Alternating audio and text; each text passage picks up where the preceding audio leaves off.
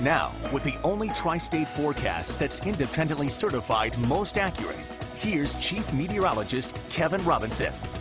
Well, in a few days, we'll be wrapping up February and beginning to welcome in March. But I tell you what, it's going to feel more like January. Show you the overall weather pattern here. And again, starting out with the jet stream, because that really is what's dictating where the cold air remains. And look what happens throughout the week here. The jet stream stays well to the south. And believe it or not, we actually get a little piece of the polar vortex, which actually swings through the Great Lakes that helps keep the jet stream well to the south and basically keeps the door open for very cold air to keep flowing out of Canada basically all week. I mean, look at the temperatures here. The darker the purple, the colder, and you can see we are certainly plenty chilly right through Thursday and Friday, and even heading into next weekend, although we'll kind of see the polar vortex begin to lift back to the north some, the jet stream still stays far to the south, so we are going to remain locked in the grips of very cold temperatures. Again, it will feel more like January with temperatures running 20 to 25 degrees below normal for this time of the year.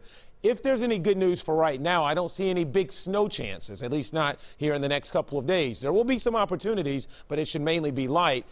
By the weekend, though, things to get a little more interesting, and we'll continue to fine-tune that forecast. For now, though, hey, tonight outside, right now, it's 34 degrees. We've got a west-northwesterly breeze, chilly at about 12. Here's your evening forecast. Temperatures will sink from the 30s back into the 20s, and that cloud cover that you see out there, well, that cloud cover eventually will begin to yield some patches of light snow overnight. There's a little area of low pressure up across parts of Iowa, and it's kind of zipping its way in our direction. You can kind of see that arm of snow that's trying to arc out in our direction. It's not going to be a lot, but it could put down maybe a dusting to maybe an inch in a few isolated places overnight tonight. Here's Power of 5 Alive radar. A lot of what you're seeing is not reaching the ground right now because the air is simply too dry. However, I think as we go through the night, that will change.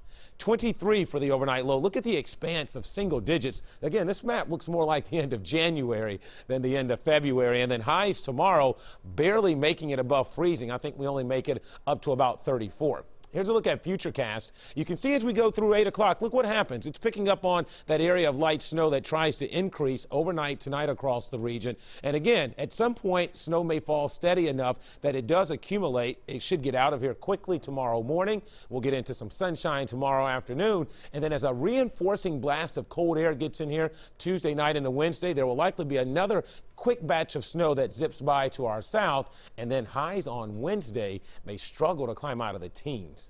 So 23 for a low tonight with some light snow and flurries developing. Tomorrow, morning flurries with a mixture of sun and clouds, 34. Here's your day planner. 23 at 7 o'clock, 28 by lunchtime, 34 for that 5 o'clock ride home. And there's that seven-day forecast.